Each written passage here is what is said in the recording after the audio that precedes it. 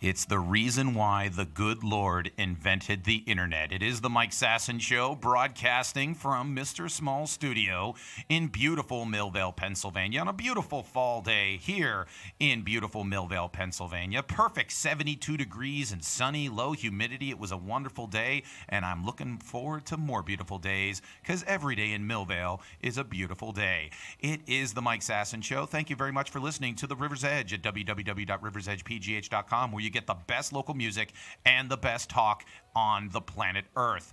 Again, with me, as always, is the greatest producer, the most influential producer in the history of Internet radio, a first ballot Internet Radio Hall of Famer. If you ever want to visit the Internet Radio Hall of Fame, it is currently outside of a Sunoco in El Paso, Texas. Make sure to bring plenty of money, get something for grandma. It is the Alex Clemens. How are you doing, the Alex Clemens? I'm doing great.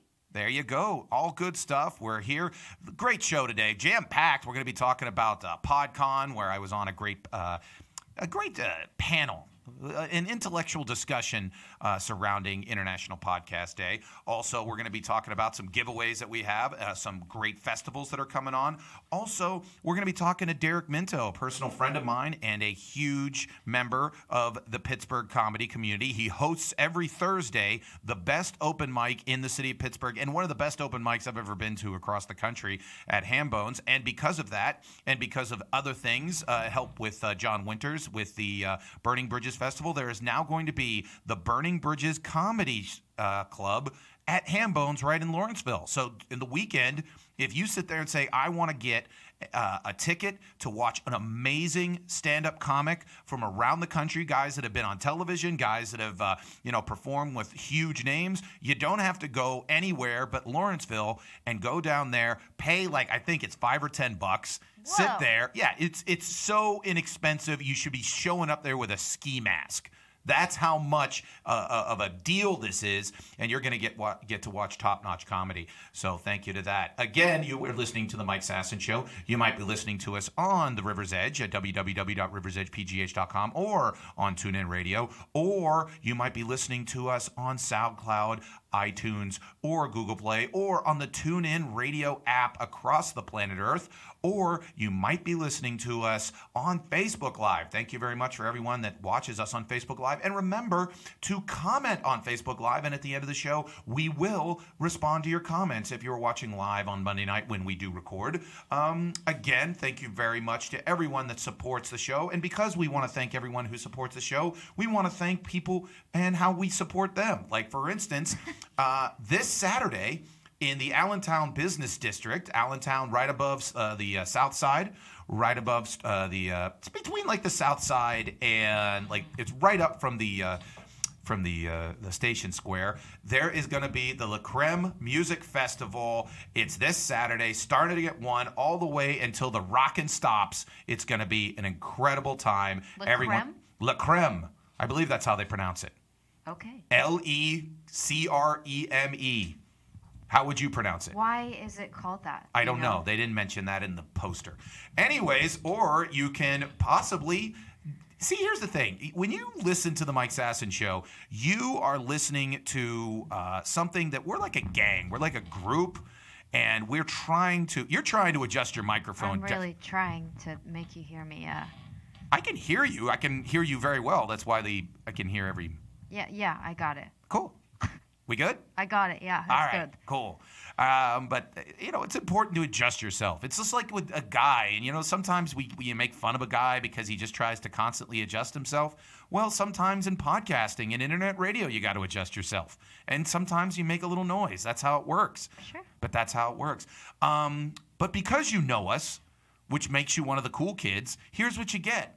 Um, next weekend kicks off Pittsburgh Libation Week. Now, what's libation? Talking wine, talking beer, talking mead, talking the stuff that just makes life worth living. The stuff that all the just good things. all the good things in life. Well, if you want to go to the kickoff bash, which is going to be at Nova Place on the north side, a, beautiful facility. I've been there myself. It's an incredible facility. They've already hosted some great festivals there already. But on Friday, October 12th from 6 to 10 p.m., they're going to have the kickoff bash for Libation Week. And you're sitting there saying, Mike, How do I get one of these tickets? Well, you go there, you find it on the Facebook, you find it on internet, and then when you go to check out, you see, hey, do I have any discounts? Hell yeah, you do. You put in Sasson, my last name, S A S S O N, and you get five bucks off one of the bucks. one of the VIP packages. So it's an incredible uh, thing that you're going to make sure you take advantage of. So it's going to be a wonderful time. So take care of that. Again, just plug in Sasson for the Pittsburgh Libation Week. Uh, it's going to be incredible. Starting There's so much on- alcohol. yeah, I mean, it's. And be honest with you, with with the five bucks off, it's going to cost you like fifty five bucks, sixty bucks. Yeah. But I think you're going to get some high quality alcohol, and you prove to a date of yours that you're not a low rent scumbag. There's literally like every single one of my favorite breweries there. Every single one. I think Alex has already talked is that maybe she might show up there. Maybe you might get, might- get to meet the great Alex Clemens. So thank you very much to all of them. Again, so support to uh, this Saturday and the Allentown Business District for the La Creme Music Festival. Or again, the week after that, Friday, October 12th, where you get to support your liver by drinking heavily at the Pittsburgh Libation kickoff bash at Nova Place. And again, hmm. if you want five bucks off, you just put in Sasson and you get the five bucks off. I already tried it; it, it works. Oh, oh, good. Yeah, I didn't. I didn't want to say something and then everyone going, "What are you talking about?" No, you do it. You put it in a discount, S A S S O N, and you get the five bucks off. legit. We didn't just talk to you about it for a couple minutes for nothing. Yeah. Well, by the way, uh, talking about something we said on the show last week that didn't turn out to be true. This past Sunday, I was at Pittsburgh PodCon, Yes. where I was uh, on a panel at the Spirit Lounge in Lawrenceville. Oh no! Did they not have pizza? The kitchen was closed on Sunday. I told you. I told you if you hyped it up too much, they wouldn't have it. Well, I you encouraged me. You should have been like Mike. Cool it with the pizza talk. Now there I was ya. there was you weren't you weren't forceful enough. Anyways, so they had a they had a truck outside for food, so it wasn't like the people were starving, Oh, good, good. but they didn't have pizza. But it was great food, and like everything else associated with the River's Edge, Brian Crawford, the Godfather, put this on, and what was incredible about it was the simple fact of the matter is just like the Millvale Music Festival, just like Millvale Days, just like everything that the River's Edge is a part of, knocked it out of the park. I've said this to Brian directly. If he ever wants to just forget the whole internet radio thing and just be an event planner, he'd become an insane zillionaire. He'd be like astronaut level rich. Yeah. That's how good he is. Because when you, I was really not, I, I honestly didn't even understand what the heck this was. And when I showed up, it was kind of like a college fair with like desks, but at each, each desk was an individual podcast. Yeah. Which was incredible. And then for an hour with The Godfather uh, talking to all of us, I was able to be on stage with some great podcasters talking about the, the big question was, why do you podcast? Why do you podcast? Why do I? And it came down to me. I was just like, uh, so more people come to my shows. So And- I can yeah. talk about boobs and things. Yeah, boobs and uh, things is and pretty much- people hear it. Well, but it, as I brought up something which was interesting in talking to a lot of other people that are in podcasting and internet radio, we are unique in terms of the fact of we have no theme. No, yeah, We, no. A lot of people are like, oh, we're a show that talks about pro wrestling, or we're a show that talks about horror movies, or we're a show that talks about, you know, uh, you know, Pittsburgh sports. Yeah. How would you describe this show in that frame? I always describe it as more of like a kind of like a late night talk show. Like That's it's not a morning how, show. Yeah, that's typically how I, I explain it to people because they're like, "Oh, what's it on?" And I'm like, "Ah, you know, it's more of like a late night talk show." Mike says he's a comedian. Yeah. And you I claim to be a uh, comedian, yeah. and each week I'm proven wrong. And yeah. I, I, I sit there and pretend that. And, you know, we have segments just like, you know, a late night talk show would. Sometimes we interview people about random stuff. So, it, you know, that's basically what it is, just in podcast form. yes.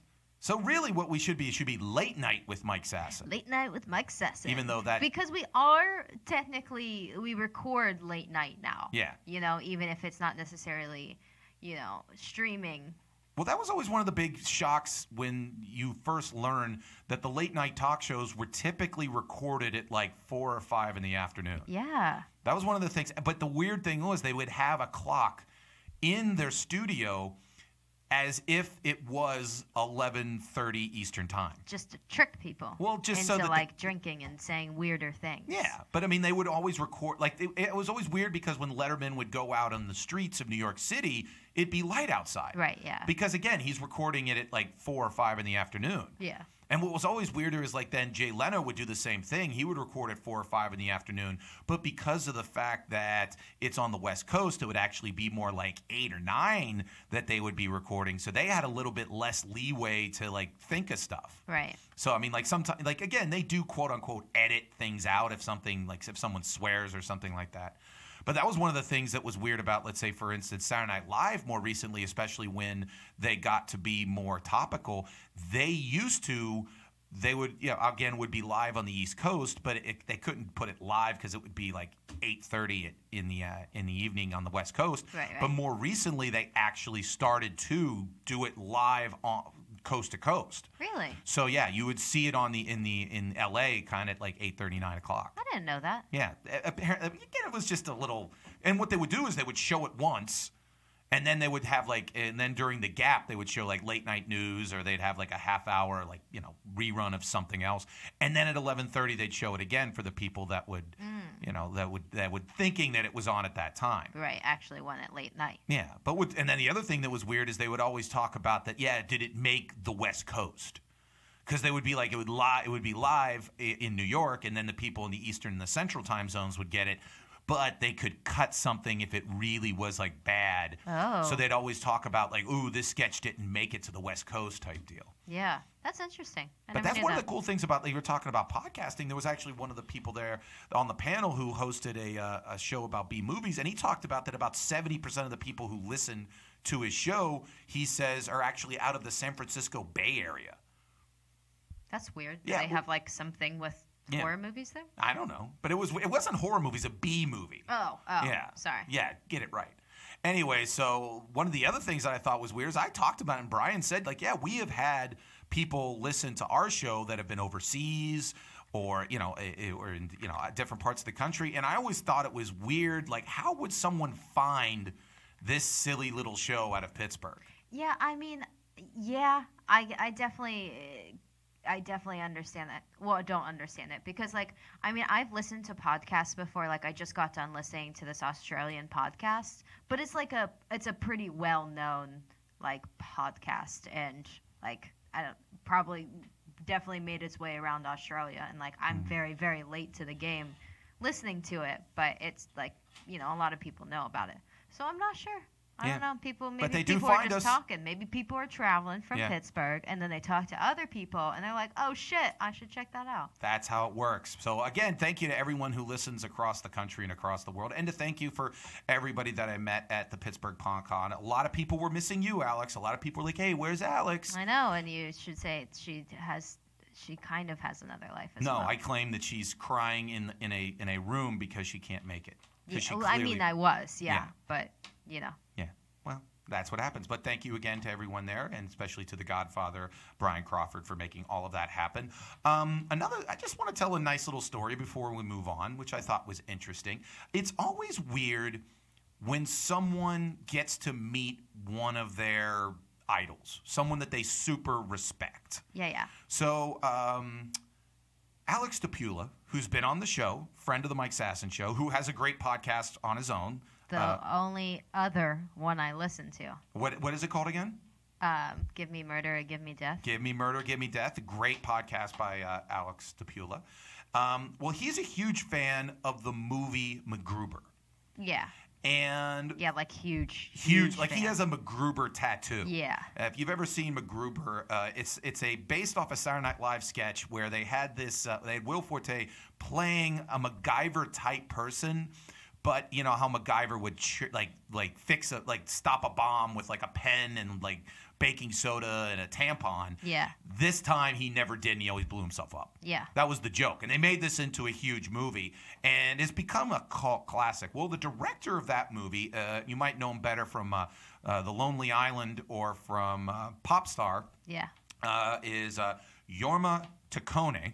Had no idea that's how you said his name. I hope I'm doing it right. Anyways, very nice man, and proving that he's a very nice man. His wife is currently in Pittsburgh. She is directing the Mr. Rogers film that is starring Tom Hanks, and everybody's a buzz here in Pittsburgh with Tom Hanks sightings.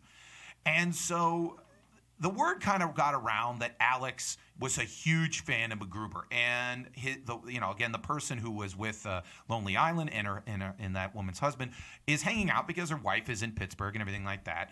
And word got to him somehow that this comedian Alex DePula was a huge fan of MacGruber. Yeah. And even Alex put on his Twitter is like, I, I, I don't want to really meet anybody in the world, but I if I would really geek out if I saw him because it would just be so cool. So Thursday again, as we talk about with, uh, we'll talk later with Derek about the Ham Bones. Ham Bones, great bar, great food, and again, great comedy. Well, it's Thursday night, the big night for the uh, the open mic, and Alex is eating tacos at the bar. One of the other comics comes up to him and sits there and goes, "Hey, your guy is like right over there. And he's just like, no way. I've never seen Alex more like like he was just literally nervous. Now this is a guy who gets gets up on stage and talks about like wanting to kill dolphins and having sex with horses. So to see that he's like nervous was a little weird and a little touching. Yeah. So he sits there and he's like, he stops eating his taco. He sits there and goes, "What? I, I gotta go. I, I gotta go see him. Should I see him? Should I let him be? Should I? Should I just you know because he's having he's having dinner with his wife and friends and blah. Should I go over there?" And then someone sits there and says, "Like, well, is it even him?" This is where I come in. This is where I try to be the buddy. Yeah. I go, okay. I'll nonchalantly walk by and walk back and tell you if it's him because I recognized him from Yeah, you know, yeah. Lonely Island and stuff like that. So I go into the uh, the foyer and pick up a city paper and walk back and look at him and do the not, not like like stare at him, but Yeah, like just kind of do the cool little walk by. And I walk right up to Alex and I go, "Yeah, that's him." And he's just freaking out, and he like literally just does like he's like, "Hey, does anybody have any gum? I can't like have my breath stink. I can't do whatever, Oh. all this kind of stuff." And so we stand off from afar, and Alex gets the you know, the nerve to go up to him, and all you see is um, Jorma look at him and smile and open his arms oh my god. like and sit there and they just go oh my g-" like it was just the sweetest moment you'd ever seen in your life because you see someone meeting one of their the people that they admire most in the world who made a piece of art that just really resonated with them to the point he has a tattoo of MacGruber and everything like that and it was so amazing to and they sat there and they literally talked for like 15 minutes and it was so cool and, the, and I think have we shown the picture yet of the two so cute. it is so amazing, and at, you just see a truly happy Alex DePula. And I went up to him afterwards, and he was just glowing. And I sit there and I go, "Dude, here's your deal. If you if you're about to die, that was going to be your make a wish. You can't. You have no more make a wishes." oh damn. And he sits there and he goes, "No, I'll just die now. Yeah, I'm good." I'm good. I'm, I'm good.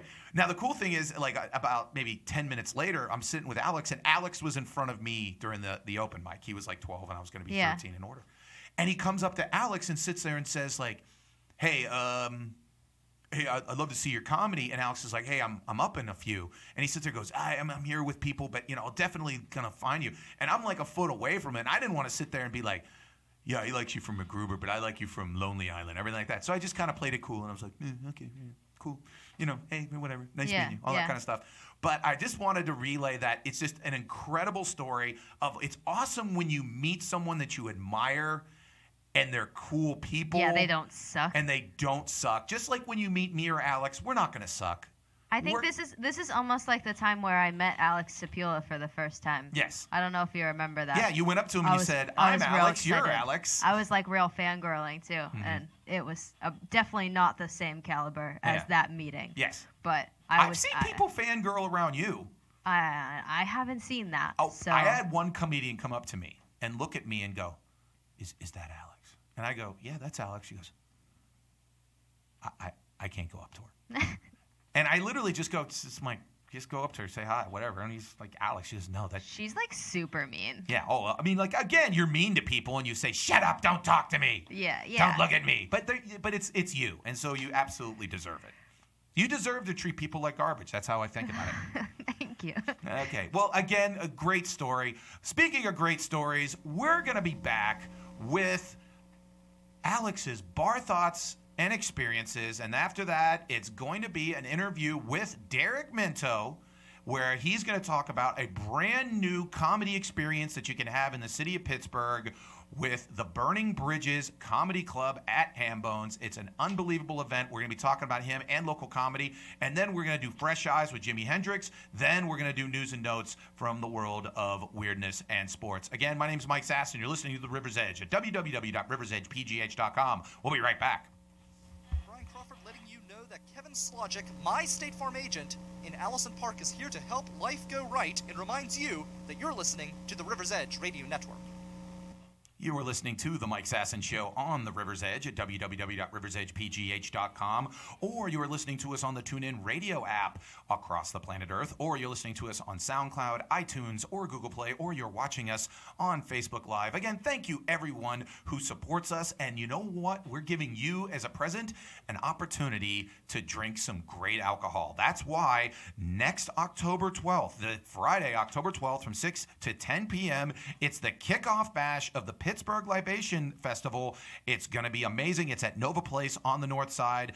Hey, if you want to get in, you know me and Alex. So all you got to do is when you go on uh, to buy tickets, put in the discount code SASSON, S A S S O N. You get five bucks off, which means you get like a free drink or two.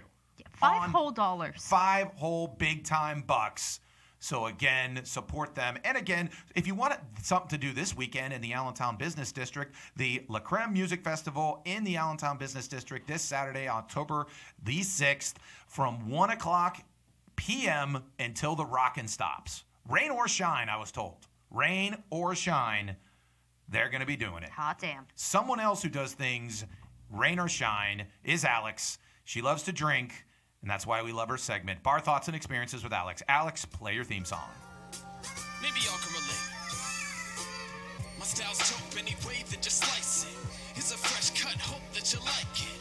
About to open up That's my song. There it is, your song, and it's a wonderful song about pizza and love. So this weekend, my drinking was a little bit different than normal uh, because I was drinking with my family, uh, with my sister and my parents and my two older cousins.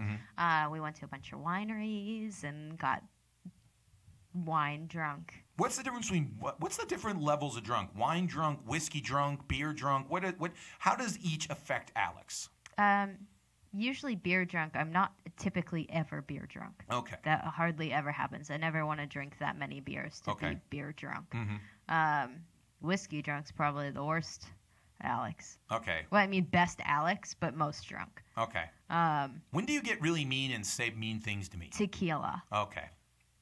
Yeah. That's tequila. That's when evil Alex comes out. yeah, it's the only reason I had holes in my old apartment in the walls. Used to punch holes in the wall. No, no, I made people punch holes in the wall. Wh- Why? Because they got mad at you? Yeah, because I was mean. Oh, okay. Well, don't serve Alex tequila is what it comes down to. Yeah, absolutely. Okay, and wine then wine drunk's drunk just get like nice silly- and nostalgic and and, Uh, and silly drunk. You're Yeah. big into the red wines. Love red wine. White I don't. wines? White wine's for pussies, honestly. Really? It's Yeah. for big wimps. Yeah. Okay. All right. Well, that's what Alex says. White wine, big wimps. Go ahead.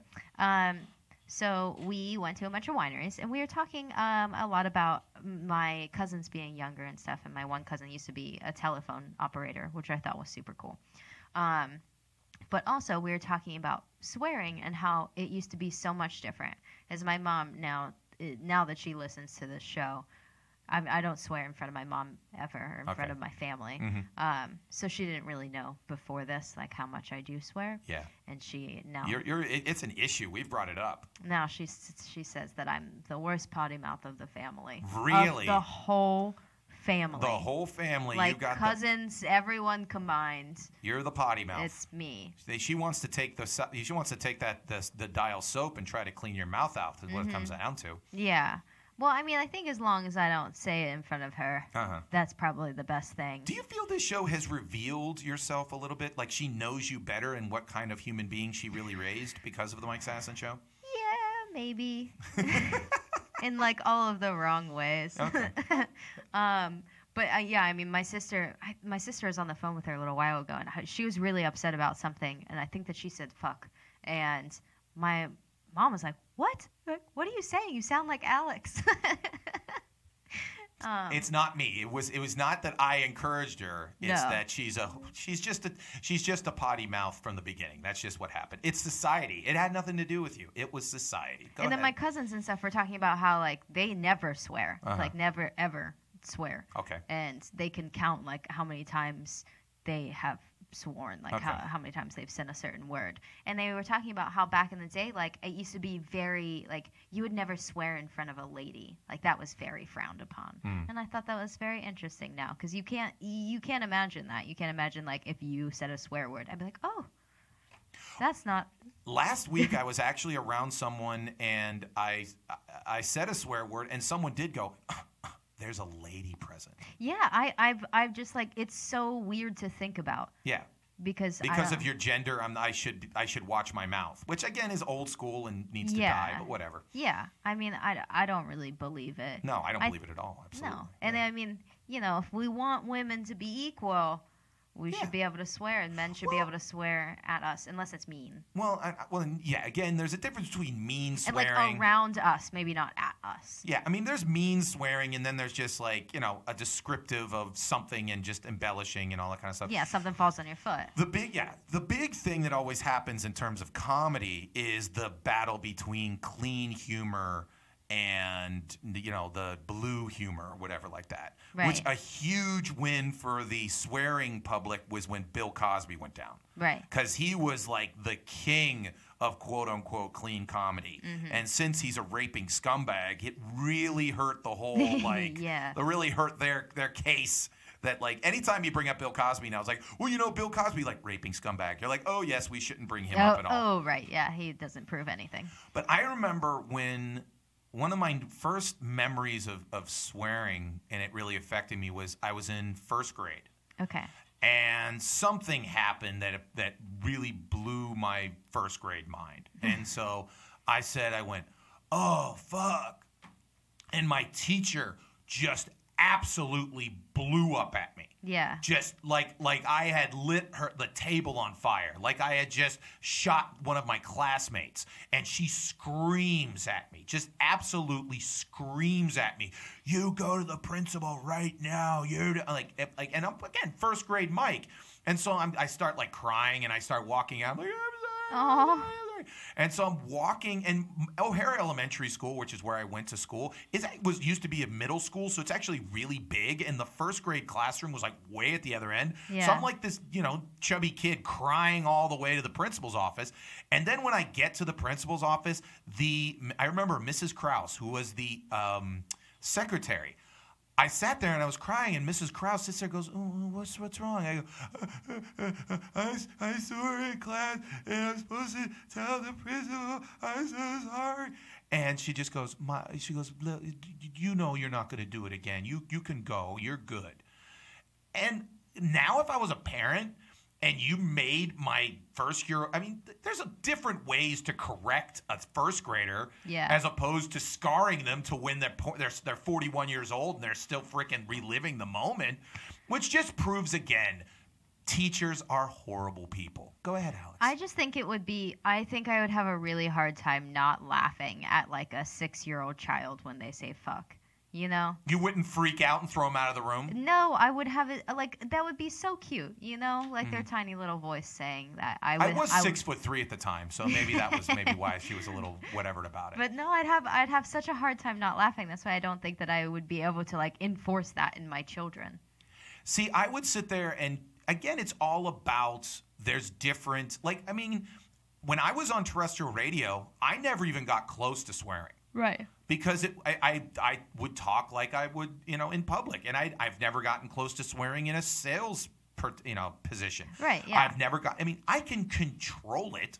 And I think that there's a time where you you you you can swear. Now, one of the funny things about they've always said in terms of sales, and they've actually proven this, if you can swear in front of a customer, it actually makes that customer trust you more. Oh yeah. So yeah. if you can sit there and be like, yeah, this, I'll be honest with you, this is a great fucking dishwasher. yeah. They all of a sudden sit there and be like, okay, this guy's not, this guy's not lying to me. like you shouldn't go up to a media and be like, hey, how the fuck you doing? You know, Yeah. you don't do that. Right. But if like eventually you get it close enough to the person where you can sit there and be like, hey, you know, I'll be honest with you, this thing's a piece of shit. Yeah. If, then it's like, okay, now I'm getting the real stuff and all that other kind of good stuff. yeah. But I mean, I think what really it comes down to is everything from the past was bad, and the future will be a swear-filled utopia in which everyone will be free.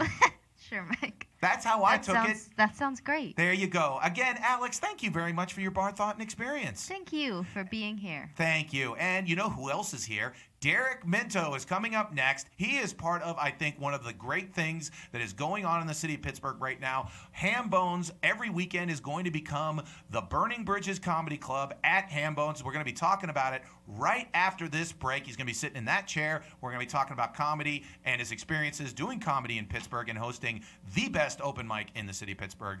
Again, it's Derek Minto coming up after this. It's the Mike Sasson Show on the River's Edge. www.riversedgepgh.com. We'll be right back.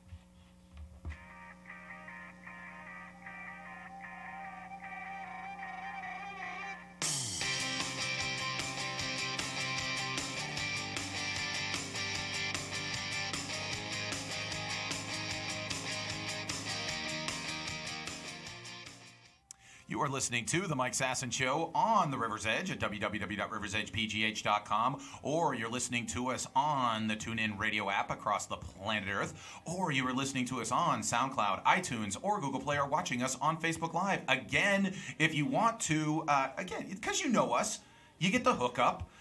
Pittsburgh Libation Festival, the kickoff celebration is October 12th at 6 p.m. to 10 p.m. at Nova Place. If you want five bucks off, just put into the discount uh, uh, little space there, Sasson, S A S S O N, and you get five bucks off a VIP ticket. So take care of that.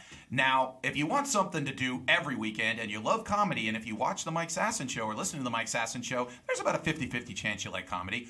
But here's the deal a great new comedy club is coming to the city of Pittsburgh at Hambones, where you can watch it. Without a doubt, the best open mic in the city of Pittsburgh every Thursday. And I have someone here who I've been performing comedy with throughout Western Pennsylvania over the last six or seven years. It is Derek Minto, who is part of the Burning Bridges Comedy Club at Hambones. How you doing, Derek? I, I I am excellent, Mike. Can I, can I just start out by saying how extremely jealous I am that your name is now a discount code somewhere, and that has never happened to me in the history of my life. Like no one has ever put Minto, and anything good has ever happened in any form whatsoever. I'm very jealous.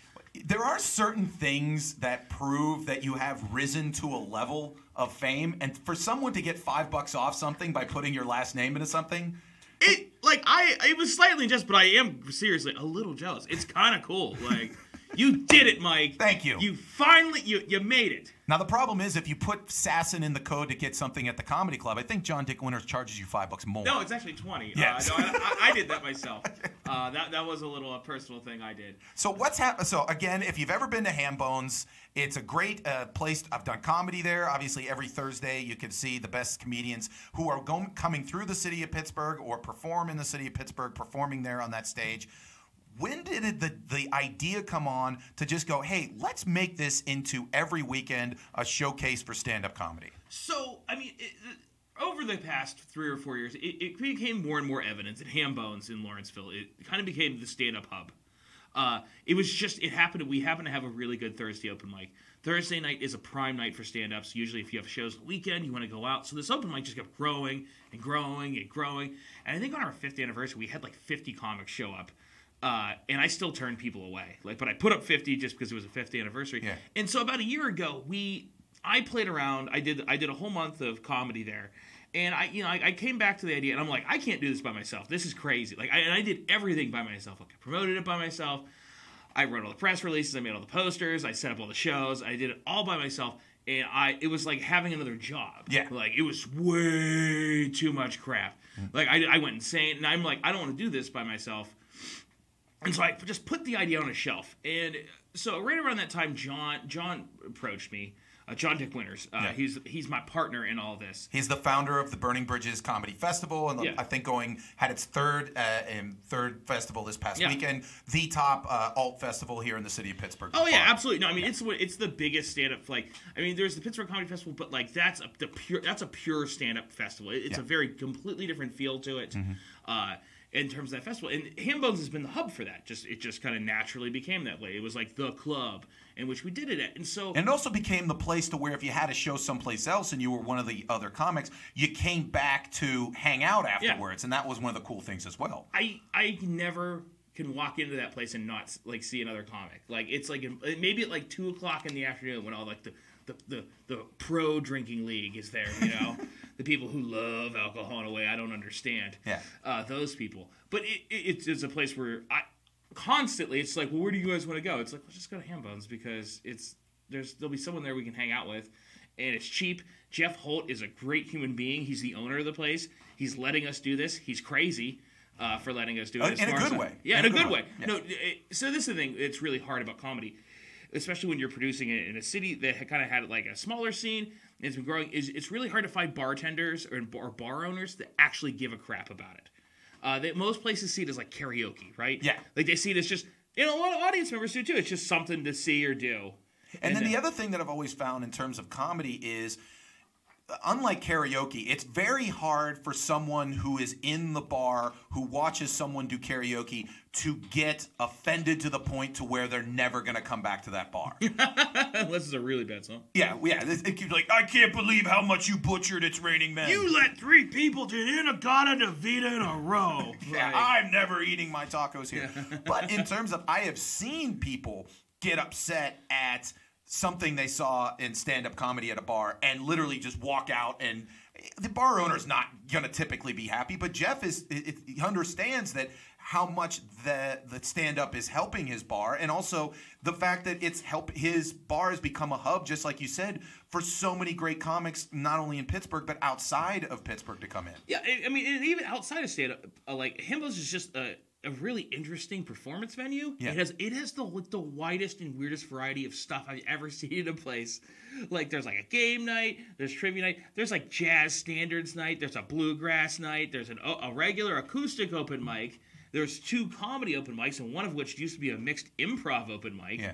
And then on top of that, there was like there was a children's open mic. Uh, the children had an open mic. Yes. Like I didn't even know children needed more stage time, Yes. but apparently they do. They need work on being children, is what Yeah. happens. Yeah. Now, but the thing is, is that now there has been a little bit of pushback. You said, or at least uh, you think you said, because of the fact that now it's going to be every weekend, Friday, Saturday, and Sunday, stand-up comedy. yeah. Well, I mean, I, I think it was just I, I think at first, people really thought that the stand-up community was taking something away from the music community, mm-hmm. which I, I mean I can see that perspective for a brief moment. But when, then when you really look at the greater picture of everything, think how many bars outside of the three stand-up theater or three comedy theaters that you have and the improv, they're actually dedicate have a dedicated night every night of the week for comedy shows. None.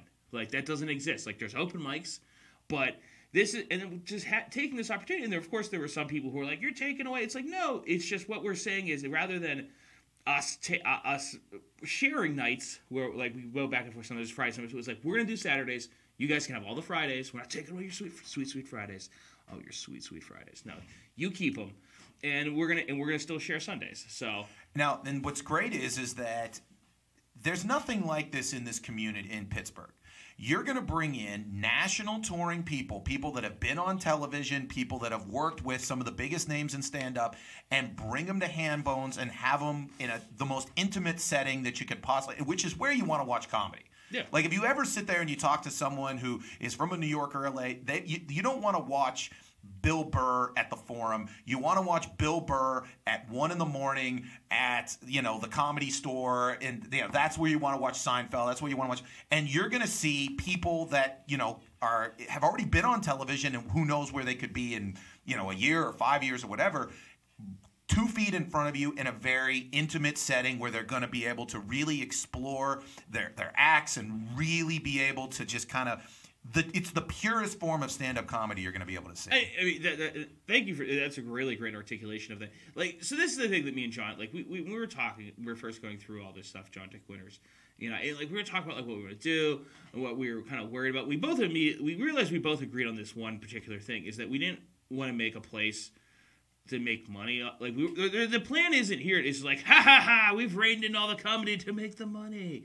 Like we we don't we know we're not going to make any money. We don't want. That's not the point. We wanted to encourage the comedy scene in the city and to give people an opportunity to see these acts that they're not that they wouldn't be able to see at the Pittsburgh Improv, and to build a place up that people can recognize and that will be able to come back to because it has good quality comedy that's curated and, and made sure that we're putting up the best comics in the city and people like the shows are controlled and well put together and manicured in such a way that like you wouldn't tell people about that what you saw. You're like, I saw this crazy show at this place. Like we want people to be able to really appreciate the scene. There is this crazy scene in Pittsburgh that's like blowing up, and no one like is really like some people know about it.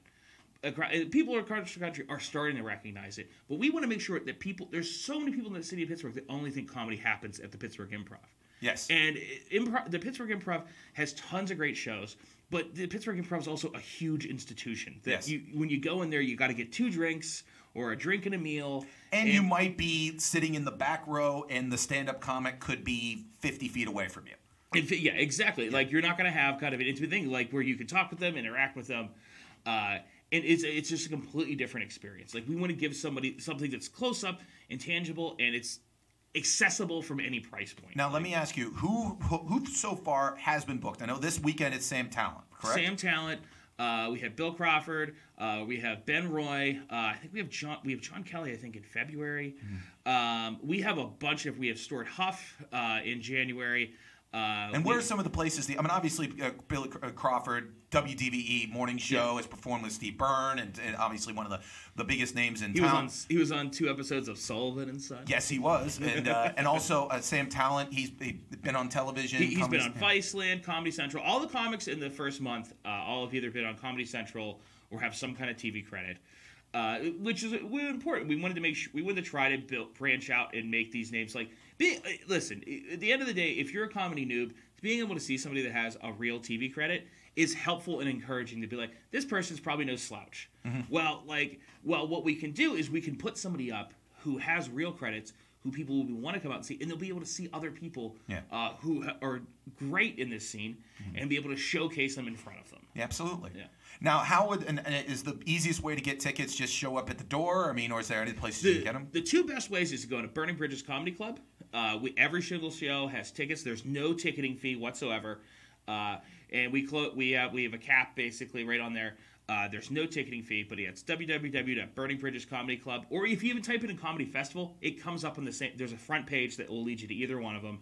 Uh, you can buy them at the door. We don't guarantee a seat uh, for you, but if you buy a ticket online, uh, because right now we max out at probably about 80 90 seats so and that's like if we take out like like last night we we we had an army of people who tore apart the room to see the maximum amount of chairs and tables and like the max the, the perfect setup that we could put together like for the room uh, just to figure that out. But yeah no definitely the best way to do it is either do it online. And if you show up at the door you can still buy the tickets the exact same price uh, but it you might not be able to get in Yeah. So again, Thursday night still the best open mic in the city. Monday still the great open mic. Uh, Monday night, and then also so it'll be Saturday night, and then Sunday night's going to be something unique, as they're going to be uh, essentially a comic who will be every Sunday for a month, basically doing residency. Yeah, so uh, we, I, I'm sure you know this. Like, this is something you find out in stand up very quickly is that there's like no Sunday shows.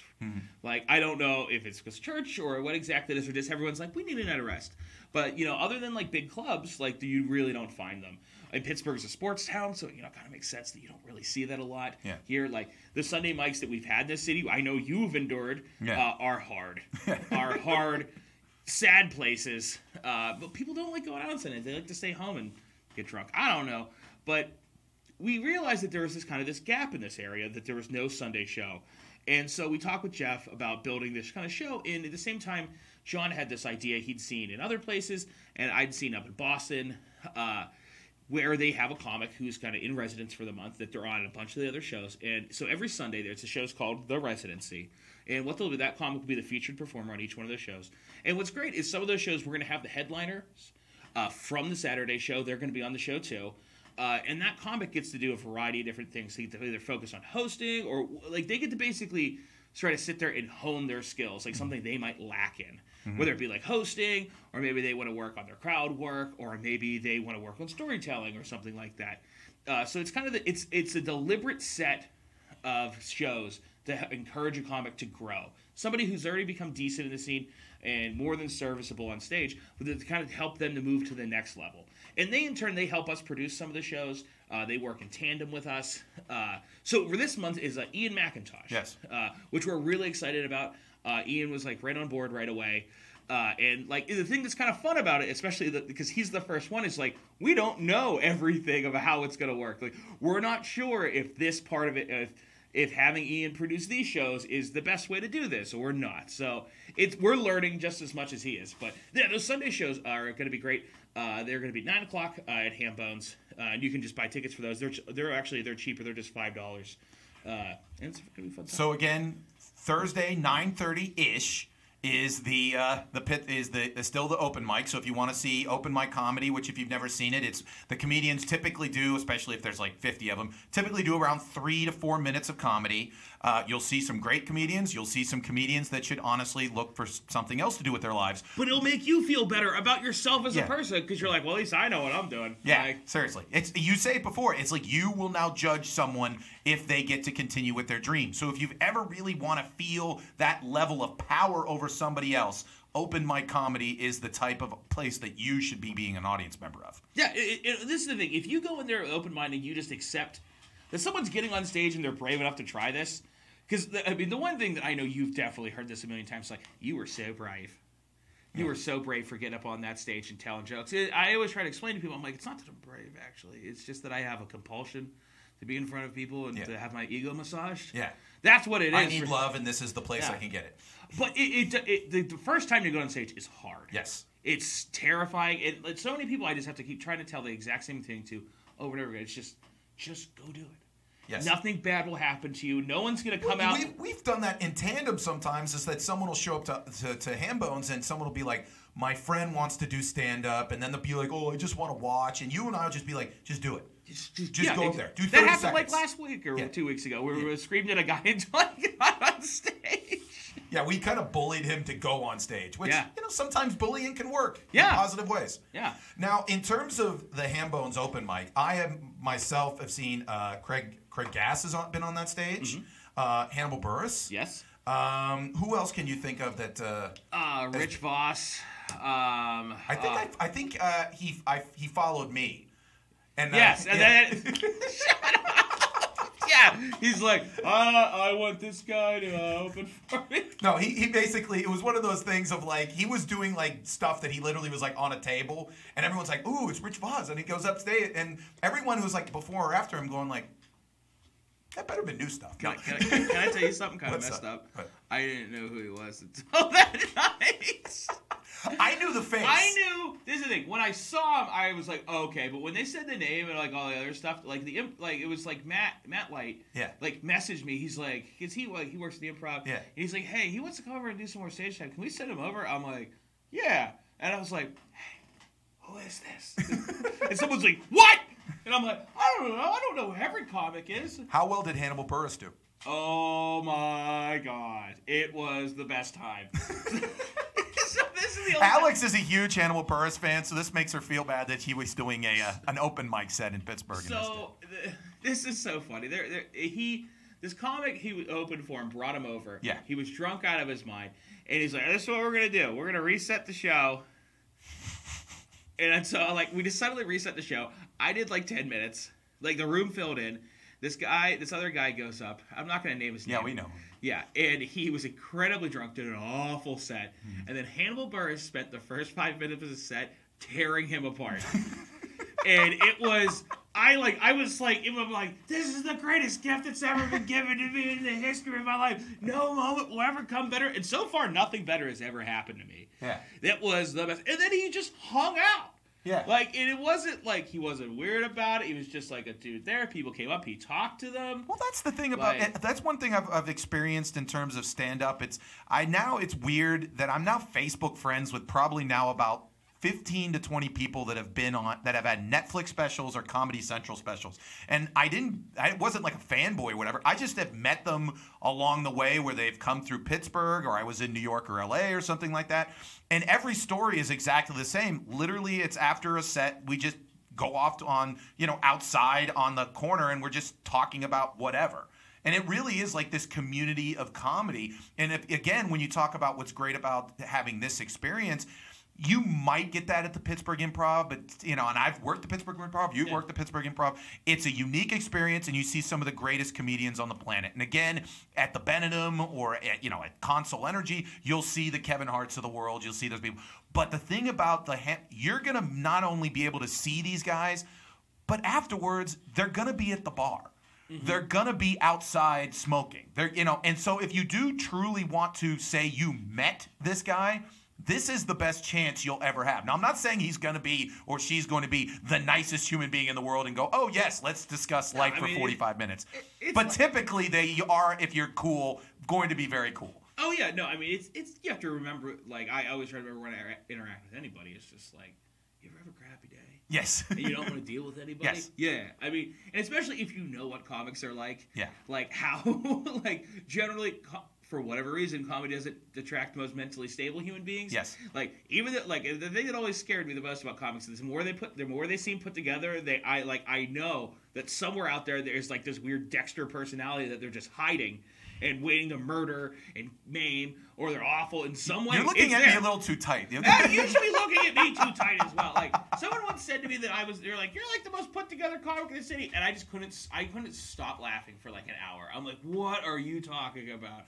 I got, I got, I got from, a, I got from a comic once. They go, "You're the biggest mystery in comedy," and I go, "What do you mean?" He goes, "What do you do all day?" I go, "Work, sleep, eat, work out, do comedy." Like I don't do anything else. I don't. Why like, is that? A, did he ever ask you? That's not a mystery if he doesn't at least ask once. Yeah. like that's dumb. I love it. He's just like, what do you do? Like, I like. I guess they did think that, like, and then I bury the bodies. No, I mean, it's like, no, I just, I do work, I eat, and I sleep, Bury and I, you know, I do comedy constantly. And uh, one place I love doing it is Hambones. Again, where can people get tickets? Oh, they can get them at www.burningbridgescomedyclub.com, or if you go to festival, that's fine too. Or you just look up Burning Bridges Comedy Festival. You can look us up on the the the, the, the Tweetergrams. Uh, as, as BB Comedy Club on Instagram, it's just Burning Bridges Comedy Club. On Facebook, you can check out Burning Bridges Comedy Club. Burning Bridges Comedy Club everywhere. You can check my tramp stamp on the back of my back. Absolutely. Right lower there, it says Burning Bridges Comedy Club. It's not actually permanent. It's a henna thing. Okay. And it's got two little scorpions on the side of it because that was my choice Yep. as a person getting hennaed. Absolutely. Uh, so you can check that out because usually my butt's hanging out a little bit, so it's pretty good advertising. Uh, but Mm-hmm. and yeah, most people are looking at your butt when you walk past. yeah, Just, just I, you know. I- yeah, I know 'Cause it's a weird. sweet deuce. I'm It's- just it's- telling it's-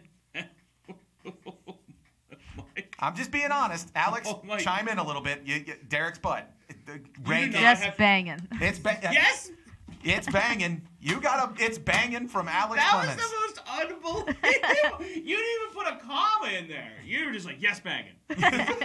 yes, banging. It's- it's I appre- you get A for effort. Co-host with the you. Moses. Thank you very much. Again, Derek Minto, can you hang around? We're going to have Yeah, a couple more absolutely. I- segments, yeah, and I- we're going to be talking. We'll be right back. Quick break. Again, Derek Minto.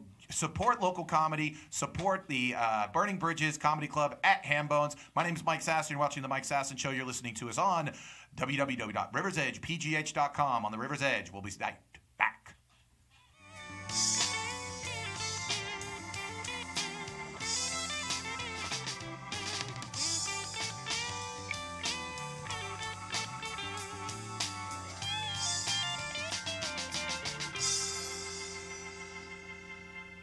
You are listening to the Mike Sasson Show on the River's Edge, again at www.riversedgepgh.com. Thank you again. Derek Minto is still with us. He's going to be hanging out. We're going to be doing the greatest segment in the history of the world where I, I as, a, as an elder statesman, try to expose my co host Alex to some of the greatest music in the history of the world. It is Fresh Eyes. Alex, play your theme song.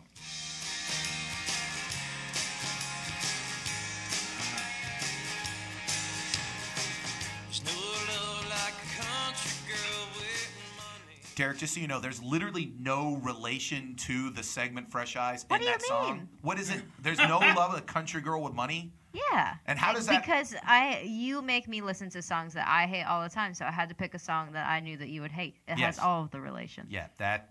Re- okay, that does make sense because I really dislike I that know. song. I didn't, I didn't like it either. I didn't know I was, we were allowed to give our opinions about stuff like that. No, I you're not said- allowed to give your I didn't know opinions whose about choice songs. it was. I thought it was Mike's. I'm like, Mike was nice enough to put me on this show. Maybe, or maybe you're really super in charge. It's just he's like it's a title.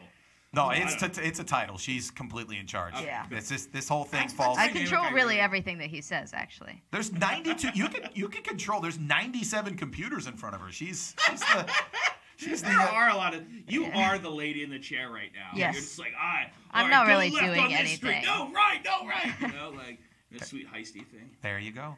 Uh, now, as you know, if you've listened to the show consistently out there in internet radio land, in in Fresh Eyes, I have Alex watch a performer from a previous generation, and she gives her fresh take on it. This week, it is the greatest guitar player. I'm just gonna. I'm not even gonna say arguably. I'm just say the greatest guitar player, the most influential guitar player in the history of recorded music. I'm talking about Jimi Hendrix.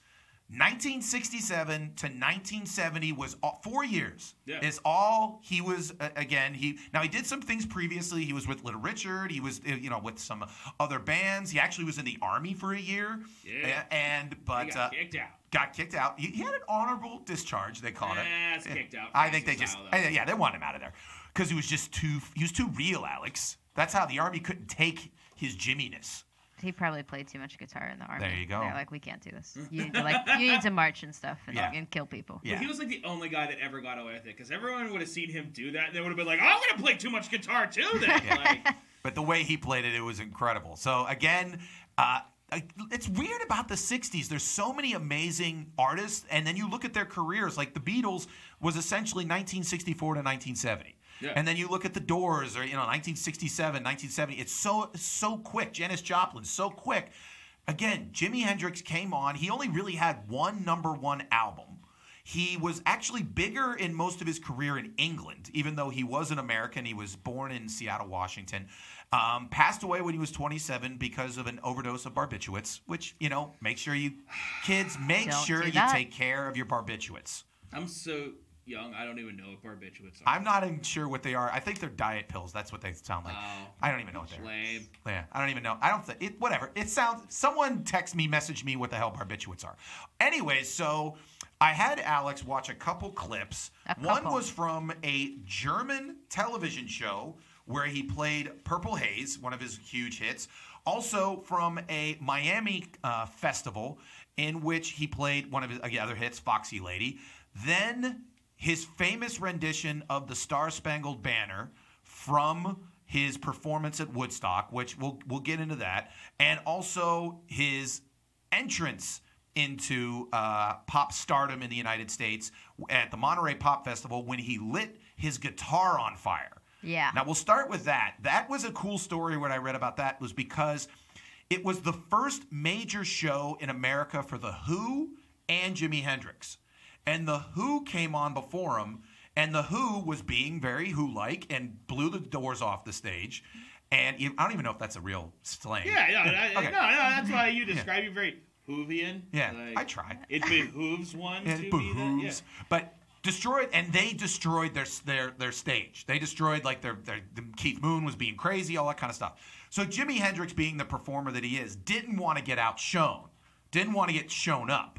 So he, at the end of his set, by the way, during his set, he was humping the stage, humping his, and this is 1967. Very nicely, yeah, yeah. humping his his guitar, humping everything in And you have, sight. to, you have to remember at that time, no one had ever humped anything before. Yeah, no one had humped a Ever in existence. No, yeah. dogs didn't do it. Nothing. No Jimi Hendrix knew. invented humping. He invented humping. Your grandparents had sex while they just stood with each other and prayed. That's Yeah. all they did. That's all sex was Just until missionary. 1967. That's not humping. Yeah, That's and they not did just, and then That's your just- and then your that's just- grandmother said a rosary, and that's how your dad was born. Yeah. Anyway, so so he what he did was he's like, okay, no one's gonna show me up. He switched guitars because he didn't want to do his nice one. And he lit his guitar on fire, and that's the picture you see there. And he Yeah, yeah. almost like, and by the way, that picture was taken by someone who was 17 at the time. That's that was that's how rock was in 1967. Someone could get that close at 17 years old to take a picture in one of the most famous pictures in the history of rock. Um, so, Alex, that's the first one. What did you think of his lighting the guitar on fire?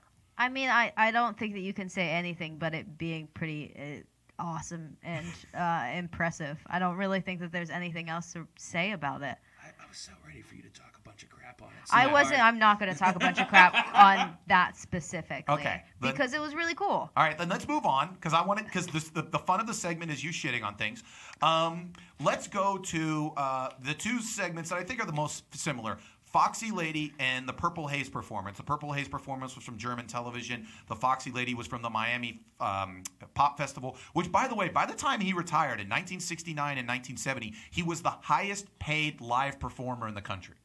He was, that. yeah, he was. That's he- crazy. He That was. ins- yeah, it was like he got, I think, something ridiculous, like a couple hundred thousand dollars to perform at Woodstock, which is why the, the weird story about him doing the Star Spangled Banner. That was the next. That was like Monday morning. Yeah.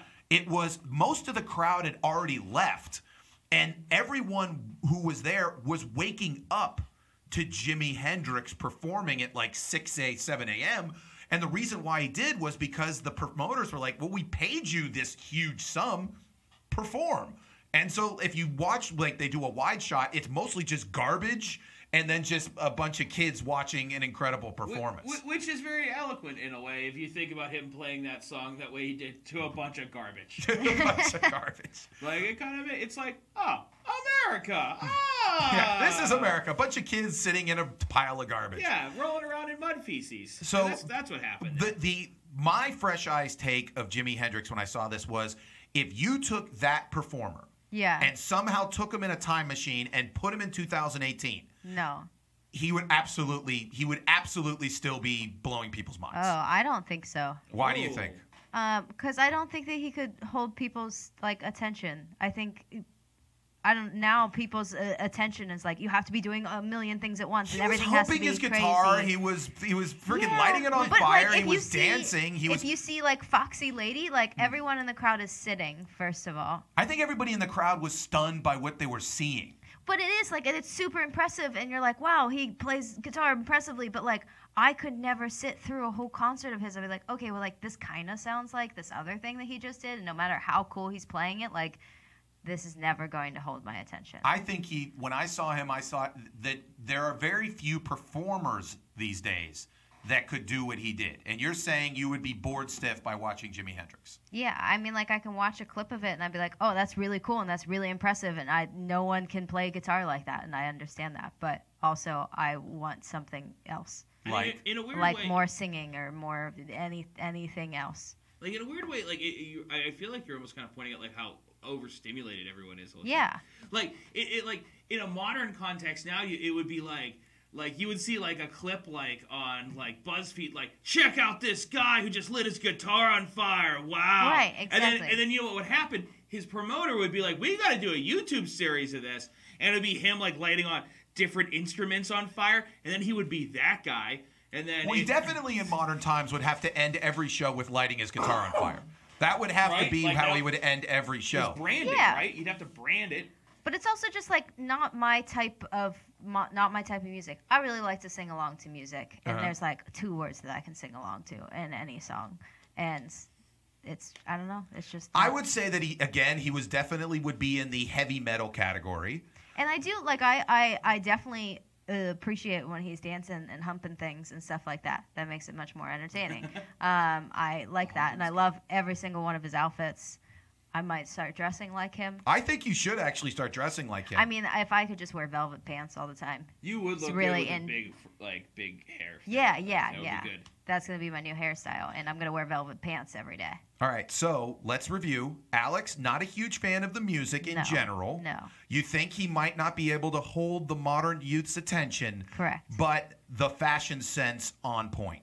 Yes, fashion sense on point. I really like. I honestly, the Star Spangled Banner was probably my favorite video that uh, you had me watch, just because I feel like such a song that like okay, everyone knows the song, everyone plays the song, and it sounds the same all the time. But like for someone to actually make it sound any different and like make it sound good being different, I thought it was really cool. Especially when you consider this is right in the middle of the Vietnam War. This is right in the middle of a time. I mean, people are still hung up about you know protests during the American Well, national yeah, I- anthem. think about that. Think about doing that in again 1969 and 50 years ago. How crazy I that mean, could you, be. you look at like what happened, like a show like the Smothers Brothers back then, who like just talked up, like didn't even mock religion, just taught like had religion, and like is like a context on their show, and like how hard like censors tried to come down on them, and like you think about like people couldn't could not deal at all. Like with like, I mean, now you you think about how like mad people are about like kneeling during like anthem and all that Yeah. stuff.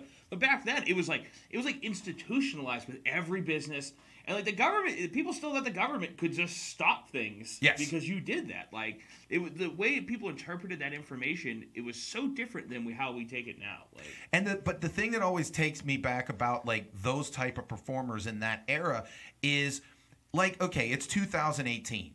Is the world that much different as perf- in performing wise from 2010? Not really. Yeah. But if you think about where the world was performance wise in 1960 till 1968 with Foxy Lady, it's a completely different universe. And I can only imagine what a 50 year old dad would be sitting there watching this, you know, this this black guy wearing velvet pants, playing a guitar louder and weirder than anything else, and singing about, you know, excuse me while I kiss this guy, you know, I mean, and everyone's like, that's about LSD and everything's like, and they'd be like, what the hell is going on here?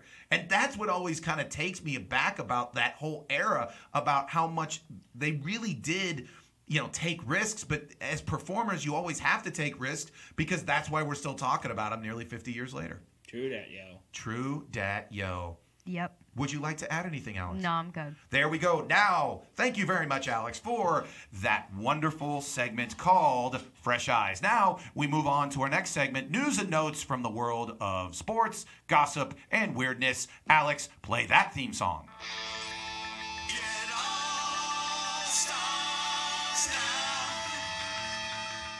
huge news in obesity. Uh, Dunkin' Donuts is changing its name. To what? That was like a New York Post title. Huge news of obesity. Sorry, sorry. No, that's exactly what you. That's why I said it because I was trying to elicit humor. Okay. But, uh, good. Oh, I, I thought you were. Uh, good. I, Good First- job. first good, good- job. By the way, I love when like I've done comedy shows where like I I tell a joke and I and, and because again when sometimes we do open mics and there's only like five people there. And I tell a joke, and I had this one woman sit there and start go and start laughing, and she goes, "Oh, I'm sorry," and I go, "No, that's what I was after. Your laughter is exactly what I was trying to get at." Yeah. But uh, again, Dunkin' Donuts, the uh, the lovely place where you get great coffee, great donuts, great bagel sandwiches, is trying to make it that people understand that you can get more than just donuts there. So starting in about a month, they're just gonna be Dunkin'. I feel like that's really not that bad of a, a change. It's not like IHOP changing their shit. Well, and, I and that yeah. was and that was a marketing. yeah. That Yeah. was some sh- are we allowed to swear on this? Yes. Some Yeah. shitty fucking marketing ploy. Fuck them. I went in there and like everyone was like they were like on alert. Like they Yeah. had like like enough people come in there and be like, What the hell's happening to my pancakes? and like they were like almost instantly they could tell like me and my girlfriend, two ornery fat people, like in the Yeah. afternoon, they're like, Listen, we still have pancakes, calm down. Yeah. I'm like, Okay, thank God. But the thing that I always love about like any sort like I always think about this like when you talk about what is the name of the show that Stephen Colbert is on? It's the you know the Late Show with Stephen Colbert. No one calls it that. They all say, "Oh, we're watching Colbert," or it's not the Tonight Show. We're watching Fallon. Yeah, or- and or you know it's not McDonald's. It's Mickey D's. Whatever. The same thing with like they're sitting there going, "Ooh, we're trying to be cooler and make people understand that we have more stuff." Understand, you can call yourself Dunkin' Donuts for the rest of the world. People still call you Dunkin' just in general, and people know you have other stuff. This is legitimately just like you said. A guy who's trying to make a bonus, who's trying to sit there and be like, "How do we make sure that people know that we have sandwiches?" They know, people know you have sandwiches at Dunkin' Donuts. Like, who doesn't know what Dunkin' Donuts is? Like, who's never been to a Dunkin' Donuts? But that's the problem. People think that we're only donuts, Alex. No. Everyone knows your other things. I do, I do feel like that maybe like in 20 years from now there will be children who grow up in the, the, the world of Dunkin'. Yeah. And they will go there and they'll be like, "What do you mean? You mean that all the dishes you have here I cannot dunk into some kind of sauce?" yeah. Like that's that's the one thing. Like the thing, it's like, all right, you want to you want to make it into this like what adverb is that what that is Yeah. in English? Like you want to make it into that, but you better be able to dunk every goddamn thing in that place, Yes. right? Like you better have dipping sauces for your croissant, which is Yeah. and every every possible thing. Like you better have a dipping sauce for your like moo latte or whatever the crap they call their. Mm-hmm. Yeah, their you thing. need dipping sauce. Everything should have dipping sauce. The and dipping then it would be okay. Yeah, the dipping sauces them need dipping. They need some, like you needed something. If you have like an icing type dipping sauce. By the way, am I the only one that misses? Like, do they still have the French toast sticks or the like, where you could dip the, into the syrup at that Burger King? I, they have a Burger King. I'm pretty sure. I mean, but I remember, Yeah, I used to get those all the time when I was Yeah, those are the best. Yeah, those are amazing because again, it's the dipping, and then they had one. I think they actually you could do it into you could do it into syrup, or you could do it into uh, like uh, frosting. Yeah, that, that sweet creamy frosting. Yeah. Oh, that was ridiculous. Which also I like French dip sandwiches as well. yeah. It's Dip- fun. It's just fun to have it there because you don't always. And sometimes you'll like take a bite and you'll be like, "Oh, this is good," but you know what? I'm gonna do it without it this time. And then and then maybe like halfway through you made a mistake, so you re-dip real quick, and then you put it in there, and you're like you have like a like a, a, a one quarter dip sandwich Yeah. like in your mouth. I don't know. I have a problem. So. But no, Should I mean just I help- agree that uh, to be honest with you, I think the whole point of Dunkin' Donuts was it was the again the coffee, the donuts, which I've never even thought of dunking my donut in a coffee. I used to do it because I thought that's what you were supposed to do. like I used to. Was it watch- making? But I, dun- I thought people were dunking it in milk. I don't do that, so I don't. I thought that's that, that's what people were doing. Uh, I don't dunk. Why would the only reason why you dunk cookies is because it, if it's a little harder, you want to make it a little softer, which is why chewy cookies came out. But donuts are already chewy. What would be the need of the They're- coffee in order to make it what more you know wet? Why would you do that? My, my guess would be oh, donuts used to be real old. That could be the only reason. Like back in the day, like they made a bunch of donuts and they're like, well, we're selling them until they're like this. Are you old enough to remember the time to make the donuts guy? Yeah, I remember the time they took donuts. Okay, that guy Yeah, was. it looks like I was convinced him and Mario were the exact same person. There was a guy who literally did like how they have Flo right now for uh, Progressive Insurance. Yeah. A more famous version of Flo was a dude who legitimately the whole point of Dunkin' Donuts was every morning they had fresh donuts. So there was a guy who would always like he would be time to make the donuts, and it would be a guy who would he was his big thing that Dunkin' Donuts had fresh donuts, and he was the guy who made the donuts, and he traveled the world as the Dunkin' Donuts guy, and he made trillions of dollars. Yeah. And I think he honestly, he and Jeff Bezos are battling for like control of the universe. what does he look like now? I think he's dead. Oh, he dead. Yeah, he's, a, he's one of those guys that didn't live real long. Many donuts. Yeah, he's really dead. But uh, Dunkin' Donuts is changing its name. By the way, speaking of a name, I saw this the other day and I thought that this was. I love minor league baseball names. Yeah. They always are real cool. Like there's the Toledo Mudcats. You know all those That's kind. really cool. Yeah. Yeah, like instead of you know, like obviously, every baseball, major league baseball name is just Detroit Tigers, you know, Chicago Cubs, you know, very kind of standard Yeah. name type stuff, and they go a little wilder in the minor leagues. Well, to me, they just they might have won for the coolest name in the world. The Double A affiliate of the Los Angeles Angels in um, Northern Alabama is going to be called next year the Rocket City Trash Pandas. That's an amazing. I will get a, a hat for the Rocket City Trash Pandas. Who We- even we were- came up with this though? Like, it was how it does was that? a it was a like a contest. Yeah, I don't get it. Forty five percent of the people wanted Rocket City Trash Pandas. I like it, but why are they trash pandas? That's a nickname for raccoons. it is. Yeah. Yeah. I, I, it's been used online before. like, there's like all those like alternative like this is what people call animals when they're high. They're like, oh look, it's a snake. It's a danger tube. Or like they're like they're, it's like this big meme. Yeah. Yeah. It's from forever ago, and they used it in the movie The Guardians of the Galaxy. Yes.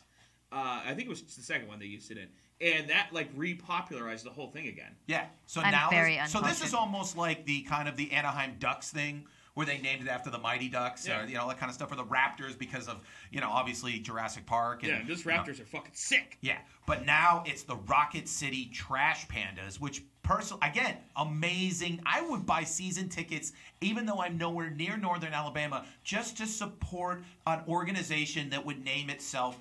By the way, we're blowing past the fact that they're calling themselves Rocket City. That's pretty Yeah, cool, I don't too. know. We're just gonna let that one slide. Yeah, but then on top of that, and then they're the trash pandas. I would go see them. I'd like to see their players, Yeah, what they look like, what They're- the they're trash normal. pandas They're, look I would assume Ah. they're normal. They're I want them to be fitting with the trash Oh, you pandas want to with be like that hobos? name. Yeah. Like they all, they, when they leave the game, they put all their gear into like a bindle and they put it over their shoulder Yeah. and they walk out. They hop onto it. They all have to hop on trains. They but they're still behind. really good baseball players. yes. Yeah, Well, all That's well, what I they already want. have the bat, so you could do the bat with the Oh, thing. it would be a bat bindle. That would be adorable. There oh you my go. god.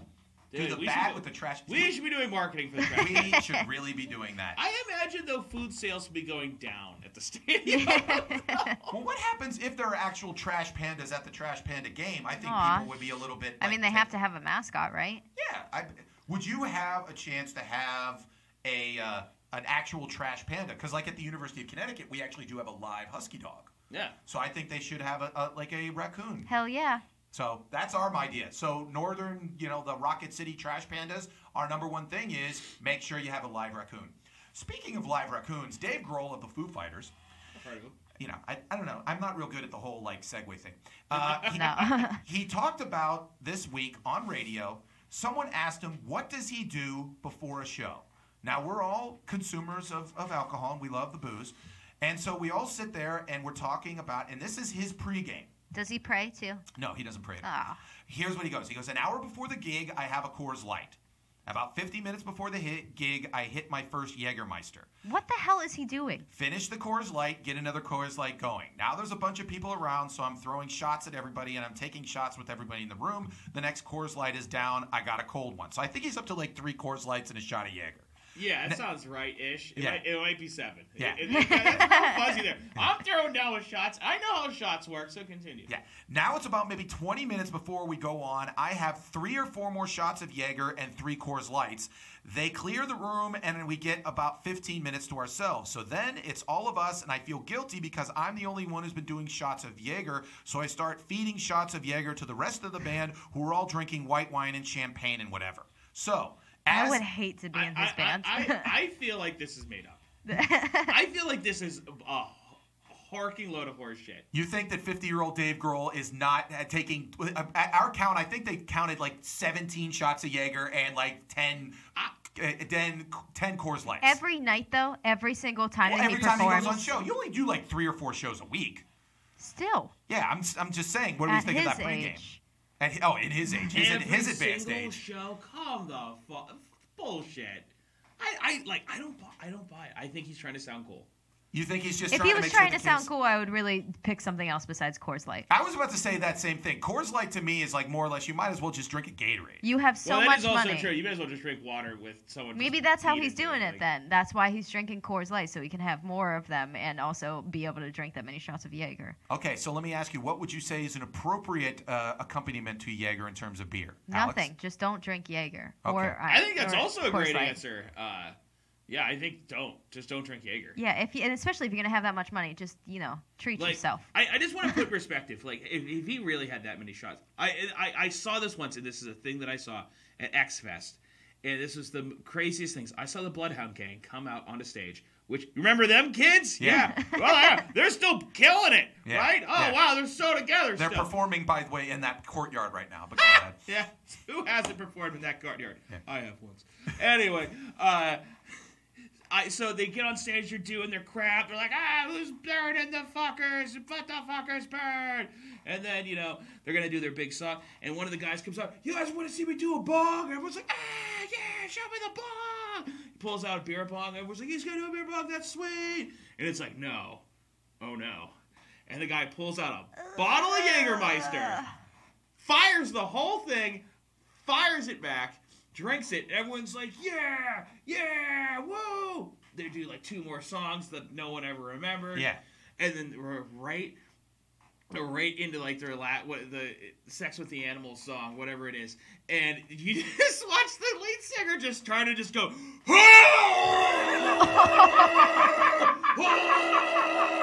like the worst hot shit torn like So made terrible. the fucking exorcist look like fucking goddamn Thelma Louise like just the worst fucking. It was black too. I just imagine just, just oh a fire hose of just coming out of a man, just ah forever.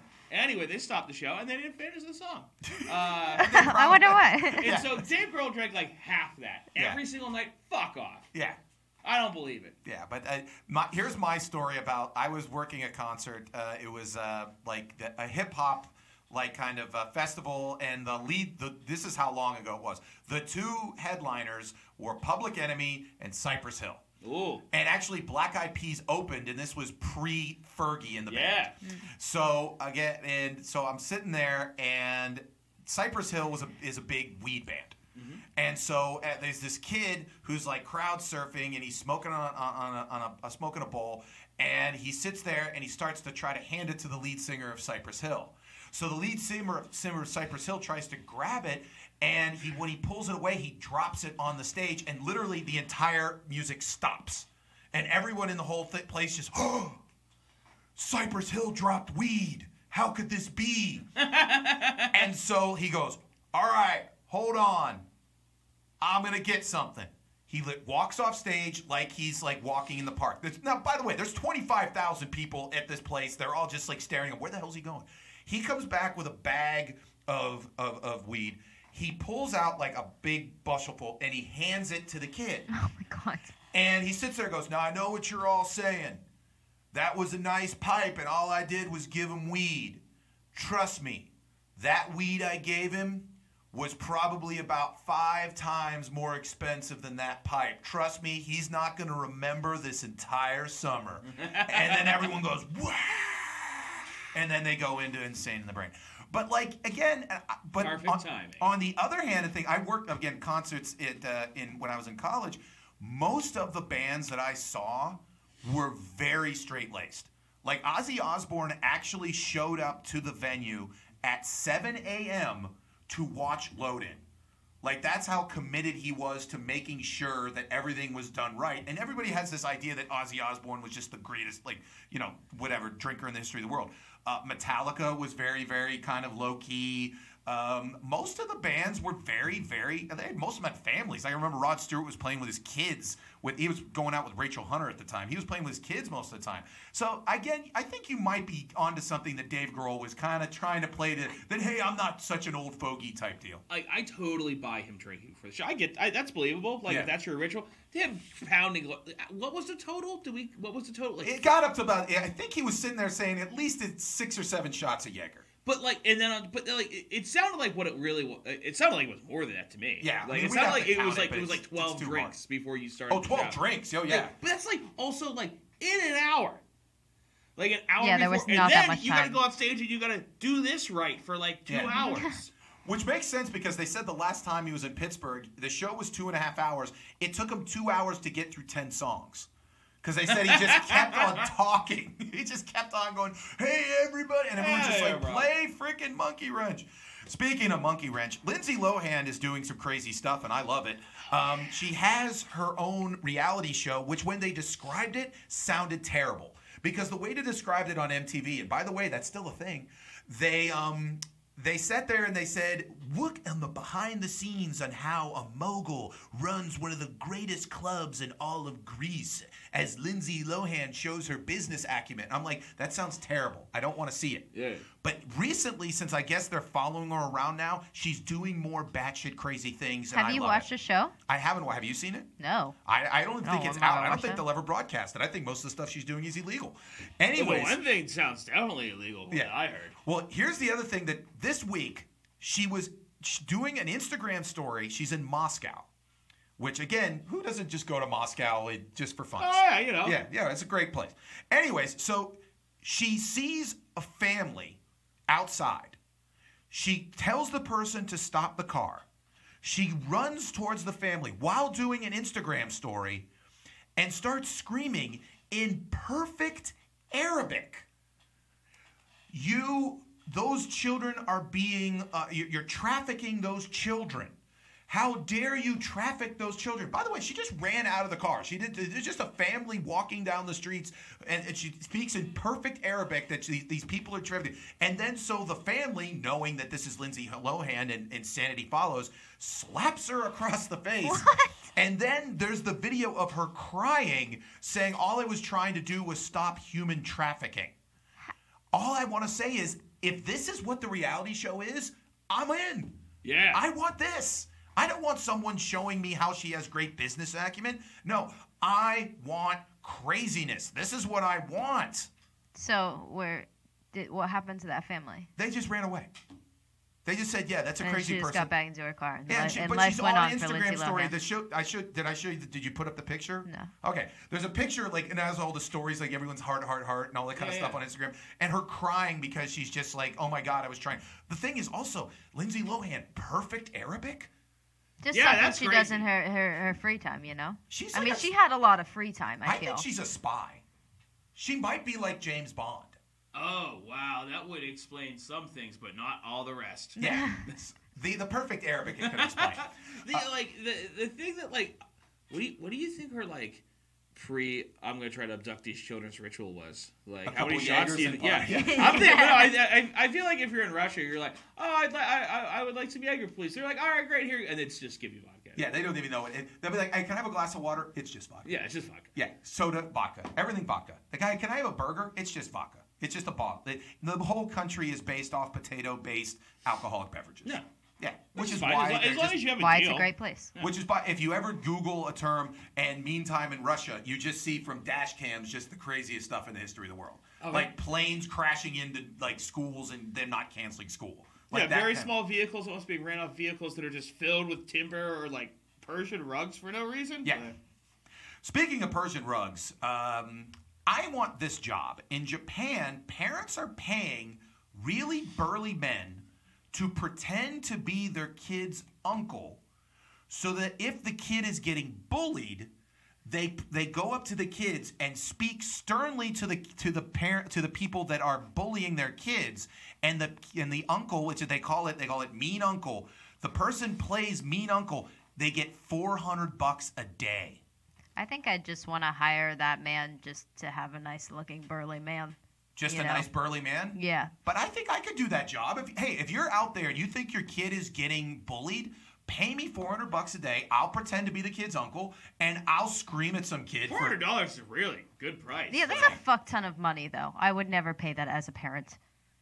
well, maybe it's like only a day service though like it's Okay. No, like okay, one what if day you get you get five it families? I mean, there's tons of like the, the, the bullied kids for five. You could get at least three to I five also, days. I, mean, I assume this is a service you give to rich kids. oh yeah, this isn't like something that the government's doing to like kids and. You know, I bad also feel like if I was one of those burly men, then I would talk to the children that were bullying and make them bully more kids so that I could make more money doing That's it. brilliant! Oh my god! Boom. Like That's get a bunch why- of kids in the system to start being shitty kids, and then you put yours like you create the supply and the demand. Yeah. Oh damn, oh, girl! Oh, we got a business plan. Alex, that was brilliant. Because honestly, like if I did this, I'd be like, okay, here's the deal. This kid is off limits, but that kid looks like he's susceptible. Go Yeah. talk to him. Yeah, he has or a lot I of would money. like find the ten richest families in the school and then essentially get those kids to get bullied because and then offer my services Let's to go on those Fortune kids. 500. Let's see top 10 richest families in this Yeah. high school. Yeah. That's a brilliant business model. So I'm, I'm appreciative of that. Now, here is a terrible business model and a candidate for Scumbag of the Year. Paul Anthony uh, Manchella in Arizona um, pretended to have Down syndrome. So I don't know what the next of this story is, but fuck this son of a he pre- Oh my god, I hope they die. Yeah. Please help this. he continue. pretended to have Down syndrome so that caregivers would go to his house and bathe him and like clean up his like and he had wore diapers because it was a weird sexual fantasy for him. I feel like you could just I- pay someone to do that. I, I work with like you can pay people to do that, Yeah. but he wanted it for free because listen, I my my my part time day gig is I work with special needs people. Hmm. And anyone who does that is like two Lindsay Lohans. Yes. Like that is that is you are an awful piece of crap. Like Scumbag of the year. like I I I, I mean. Oh my god, I cannot. I like that is the most revolting. Where does that go? Where does I mean? Again, like I understand being a complete scumbag. I understand scumbag behavior to a point, but where do you get the thought that hey, not like you said, you just go on Craigslist and say, hey, does anybody want to? I have a fetish that I want to be a baby, and you know I want to change my diaper, whatever, like that, and spank me, whatever. You can pay prostitutes to do that. That's why they exist. That's why they're low flying angels. But to pretend to be a special needs, to pretend to have Down syndrome so that someone will change you because you get off sexually. And the way he found out, which was insane, is some like one of the caregivers was like, This is really weird that you're just asking me to like shower you constantly. So the woman followed like the, the apparently like he got on a bus and he went and he went to the house. He went to the house. The parents were in the house. Surprisingly, at 31, he still lived with his parents. And he sat there and knocked on the door and went like, "Yeah, does your son have special needs?" And the kid's like, "No."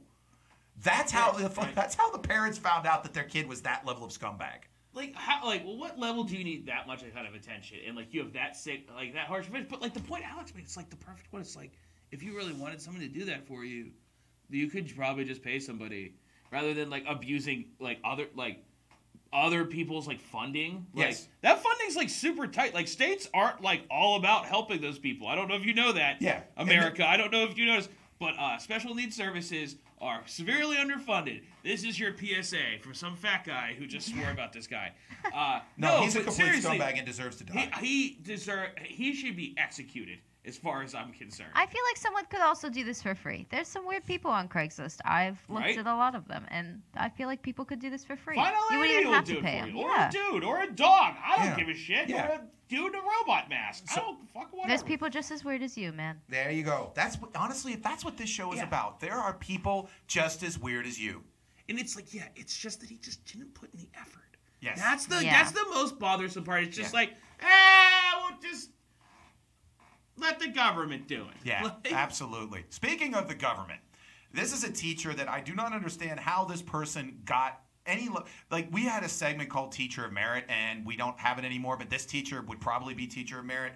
Um, it is Jared Hensley, who's an athletic director from uh, Tennessee. Oh, because you, only the finest people are athletic directors. Yes, that, that's that's a tough job to get. That's the sweet the the athletic director at certain high schools in Western Pennsylvania make well into six figures, Oh yeah. and it's it's the I cushiest know what job ours was like, and oh my god, that, that guy has spent ninety percent of his day sitting on his fat ass in his office. Hey, I'm not gonna lie, it seemed like a pretty sweet job. Yeah, it's it's a great gig if you can get it. Well, this guy isn't going to get it anymore because he was like he had like on the morning announcements he had like he was like standing like he was the president of the United States and he was like behind was like the school logo and everything like that. And so apparently the um, there's a dress code where you couldn't wear quote unquote athletic shorts. You could wear like cargo shorts and stuff like Yeah. that, but you couldn't wear athletic shorts to school.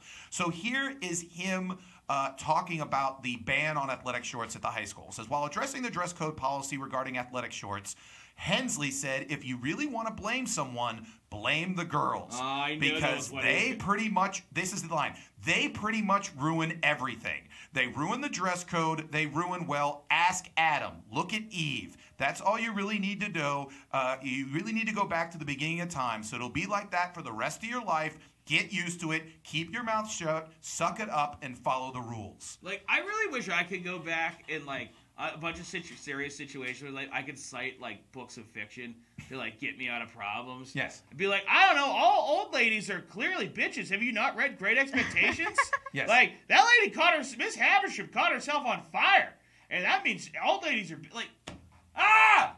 Well, like, and then recently with the uh, judge, the Judge Kavanaugh thing, there was actually a woman that quoted the Bible, which is why she said you shouldn't believe women who claim sexual assault because there's a story in the Bible of a woman not of, of lying about sexual assault. So you can't believe all women because in a story in the Bible. There's also a dude who built a giant yacht. Yes. For animals. Yes. like, fuck off. The dude got turned into a pillar of salt, and no one immediately started a business and sold that shit. No. Bullshit. There was a guy who walked through an ocean. Yeah. He spl- he parted an ocean and walked an entire race of people through the ocean. And then Yeah. decided afterwards because they had a they had a party for a weekend that like nope you deserve to die. We're just gonna walk around the desert for 40 Yeah, years. yeah, for 40 years in a desert that's like the size of Jersey. Yeah. Like, Ev- that's impossible. Eventually, they walked back to Egypt. Yeah. That's eventually they just want to walk back and be like, "What are you guys doing here? Well, to be fair, it's the only place that was probably lit up, so they're like, well, let's Let's just go that way." I just want to know who put this guy on their morning announcements and like what he said he was going to talk about for You- this. And yeah, they were that's like, the- "Yeah, that's cool. That's cool. Yeah, that do almost that." gets to the point to where, like, I watched the morning announcement, and you could tell that he was trying to somewhat be humorous, which goes back to as a comedian. I, this is a PSA for every person: leave comedy to the professionals. This person was trying to be, but again, it's such a sexist like thing to sit there and say, "Well, if you want to blame anybody, blame the girls." And I'm just like, you know what? How do you have a job at anything? Not even as an athletic director. I'm talking about a job. I'm talking about the you should not like clean up that guy's vomit on the stage that freaking Derek saw. You're you're underqualified for that position, let alone as an athletic director. and he still has a job, right? Well, he probably got to leave, and he has to take like a course where he goes like, "Don't blame women for everything," and he has to be like, "Okay," and then he gets his job back. Well, it depends how they, the football team probably did last season. Yeah, In Yeah, all that's- honesty, very that's the true. football team would what yeah, it was. depends. He has like, okay, if the team was ten and zero, then they're like, Yeah. okay, take an afternoon off. And like some dude just went to like, you know, Ohio State or something, and it's like starting D. They're like, oh, okay, well he he did that somehow. Yeah. So But if it was under five wins, then yeah, they probably got rid of him, and that was how they found it. So, Yeah. again, that is news and notes from the world of sports, gossip, and weirdness. And now our final segment, Alex, it's which it's called Comment Your Ass Off, where if anyone commented on the Facebook live feed, we comment away. Play the theme song. Say hello to the world. Say hello to We just have a few comments All today. righty. Lots Okay. of emojis. Our favorite fan, Sam. Alrighty. Um, he asked if that's Walmart water on your desk. You can't tell him because that's paying advertising. okay. Don't tell him. Don't Is tell it him. though? Is it what? Is it though? What? It, Is that it Walmart a, water? It is a great value. This water though. It is, yeah, it, it's the type of water that you would get at a place where they build walls. Sam, look into my eyes. That was definitely good for I believe so. uh, audio. Honestly. By the way, Sam, appreciate if it. Sam isn't aroused right now, you're legally dead. Go ahead, Alex. Uh, asked if he. I think he asked this question last year. Do you have special guests lined up for sweeps weeks? And Derek I, freaking Minto. Yeah, I'm I learned. I learned what sweeps weeks was. I already forgot, but I Yeah. learned then. It's where they do advertising, where they. Oh, like, do- right, right, Yeah, yeah. and that's why we brought Derek Minto Yeah, in. bring a bunch of, For like, the sex, for the sex symbol. Yeah, we bring the sex. Yeah, Mm-hmm. We bring the- we bring mayor the- of, of, of hot se- sex tits. Yeah, That's we bring you know this- me. we bring the People heat. look at me and they're like, "Damn, I want my bitch jumbled by that, sir." Mm, And they bitch get jumbled by that, sir. Bits jumbled. Yeah, bitch jumbled. I thought like you said that. bitch. Yeah, jumbled. I like jumbling their bits and Oh. Yeah, yeah. and doing the giving some bobs, Smashing weaves. bodies. Yeah, you know. By the way, Alex, I want the next time you're with a gentleman to sit there and be like, "Smash my bits," and I want you to say it like you're like a like a 1930s waitress in the South. All right, we'll see Like- how it goes. Like, I want you to smash my bits. Okay, There you go. I'll remember that.